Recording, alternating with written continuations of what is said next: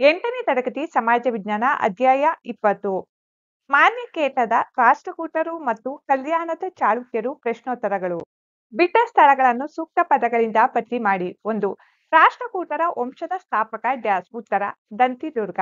ಎರಡು, ರಾಷ್ಟ್ರಕೂಟರ ಅವನತಿಗೆ ಕಾರಣನಾದ ಕಲ್ಯಾಣದ ಚಾಳುಕ್ಯರ ಅರಸ ಡ್ಯಾಸ್. ಉತ್ತರ, ಎರಡನೇ ತೈಲಪ ಮೂರು ಕವಿರಹಸ್ಯ ಕೃತಿಯನ್ನು ಪಡೆದವನು ಡ್ಯಾಸ್. ಉತ್ತರ, ಆಲಾಯುಧ. ನಾಲ್ಕು ಪೊನ್ನನು ರಚಿಸಿದ ಪ್ರಸಿದ್ಧ ಕಾವ್ಯ ಡ್ಯಾಸ್ ಉತ್ತರ ಶಾಂತಿ ಪುರಾಣ. ಐದು ಕಲ್ಯಾಣ ಚಾಳುಕ್ಯರ ಪ್ರಸಿದ್ಧ ದೊರೆ ಡ್ಯಾಸ್ ಉತ್ತರ ಆರನೇ ವಿಕ್ರಮಾದಿತ್ಯ. ಆರು ಸಾಮಾಜಿಕ ಕ್ರಾಂತಿಯ ಅಧಿಕಾರ ಎಂದು ಕರೆಯಬಹುದಾದವರು ಡ್ಯಾಸ್ ಉತ್ತರ ಶ್ರೀ ಜಗಜ್ಯೋತಿ ಬಸವೇಶ್ವರರು. ಕೆಳಕಂಡ ಪ್ರಶ್ನೆಗಳಿಗೆ ಸಂಕ್ಷಿಪ್ತವಾಗಿ ಉತ್ತರಿಸಿ. ಪ್ರಶ್ನೆ ಏಳು, ರಾಷ್ಟ್ರಕೂಟರ ಆಡಳಿತ ವ್ಯವಸ್ಥೆ ಹೇಗಿತ್ತು? ಉತ್ತರ, ರಾಷ್ಟ್ರಕೂಟರ ರಾಜ್ಯತ್ವವು ವಂಶ ಪಾರಂಪರ್ಯವಾಗಿತ್ತು. ಅರಸರಿಗೆ ಸಹಾಯ ಮಾಡಲು ಮಂತ್ರಿಮಂಡಲವಿರುತ್ತಿತ್ತು ಮಂತ್ರಿಮಂಡಲದಲ್ಲಿ ವಿದೇಶಿ ವ್ಯವಹಾರ ನೋಡಿಕೊಳ್ಳುವ ಮಹಾಸಂಧಿ ವಿಗ್ರಹಿ ಎಂಬ ಗಣ್ಯನು ಇದ್ದನು. ಆಡಳಿತದ ಅನುಕೂಲಕ್ಕಾಗಿ ಸಾಮ್ರಾಜ್ಯವನ್ನು ರಾಷ್ಟ್ರ, ವಿಷಯ, ನಾಡು, ಗ್ರಾಮಗಳಾಗಿ ವಿಭಜಿಸಲಾಗಿತ್ತು. ಗ್ರಾಮದ ಮುಖ್ಯಸ್ಥನೇ ಸೈನ್ಯಕ್ಕೆ ಮುಖ್ಯಸ್ಥ. ಗ್ರಾಮ ಸಭೆಗಳು ಇದ್ದವು. ವಿಷಯಪತಿ ಮತ್ತು ರಾಷ್ಟ್ರಪತಿ ಜಿಲ್ಲೆ ಅಥವಾ ವಿಷಯಕ್ಕೂ ಹಾಗೂ ರಾಷ್ಟ್ರಕ್ಕೂ ಅಧಿಕಾರಿಗಳಾಗಿದ್ದರು.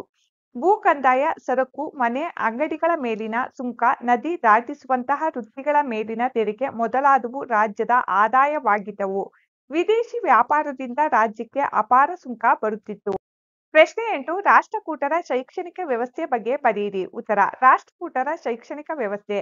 ಅಗ್ರಹಾರಗಳು, ಮಠಗಳು ಅಂದಿನ ಪ್ರಮುಖ ಶೈಕ್ಷಣಿಕ ಕೇಂದ್ರಗಳಾಗಿದ್ದವು. ಸಂಸ್ಕೃತ, ವೇದ, ಜ್ಯೋತಿಷ್ಯ, ತರ್ಕಶಾಸ್ತ್ರ, ಪುರಾಣಗಳಲ್ಲಿ ಶಿಕ್ಷಣ ನೀಡುತ್ತಿದ್ದರು.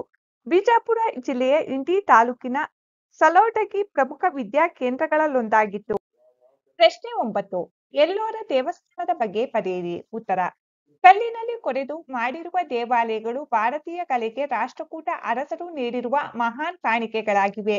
ರಾಷ್ಟ್ರಕೂಟ ಅರಸರ ಒಂದನೇ ಕೃಷ್ಣನು ಕಟ್ಟಿಸಿದ ಎಲ್ಲೋರದ ಕೈಲಾಸನಾಥ ಮಂದಿರವು ಏಕಶಿಲೆಯ ಅದ್ಭುತ ರಚನೆಯಾಗಿದೆ ನೂರು ಅಡಿ ಎತ್ತರ, ಏಳ್ನೂರ ಎಪ್ಪತ್ತಾರು ಅಡಿ ಉದ್ದ ಹಾಗೂ ನೂರ ಐವತ್ನಾಲ್ಕು ಅಡಿ ಅಗಲವಾಗಿದ್ದು ಬೃಹತ್ ಬಂಡೆಯನ್ನು ಕುರೆದು ಕಟ್ಟಲಾಗಿದೆ.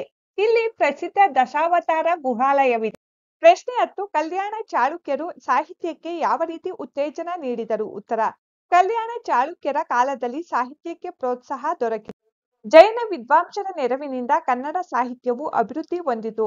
ರನ್ನನು ಬರೆದ ಗದಾಯುದ್ಧ, ದುರ್ಗಸಿಂಹನ ಪಂಚತಂತ್ರ, ಬಿಲ್ಲಣನ ವಿಕ್ರಮಾಂಕ ದೇವಚರಿತ, ನಯಸೇನನ ಧರ್ಮಾಮೃತ ಹಾಗೂ ಜ್ಞಾನೇಶ್ವರನು ಬರೆದ ಕಾನೂನು ಗ್ರಂಥ ಮಿತಾಕ್ಷರ ಮುಖ್ಯವಾದ ಗ್ರಂಥಗಳಾಗಿವೆ. ರಾಜ ಮೂರನೇ ಸೋಮೇಶ್ವರನು ಬರೆದ ಮನೋಲ್ಲಾಸ ಸಂಸ್ಕೃತ ವಿಶ್ವಕೋಶವೆನಿಸಿದೆ. ಚಾಲುಕ್ಯರ ಕಾಲದ ವಿಶಿಷ್ಟ ಕೊಡುಗೆ ವಚನ ಸಾಹಿತ್ಯ. ಬಸವಣ್ಣ ಅಕ್ಕ ಮಹಾದೇವಿ ಅಲ್ಲಮ್ಮ ಪ್ರಭು ಮಾಂಚಯ್ಯ ಮುಂತಾದವರು ಗಣ್ಯ ವಚನಕಾರರಾಗಿದ್ದರು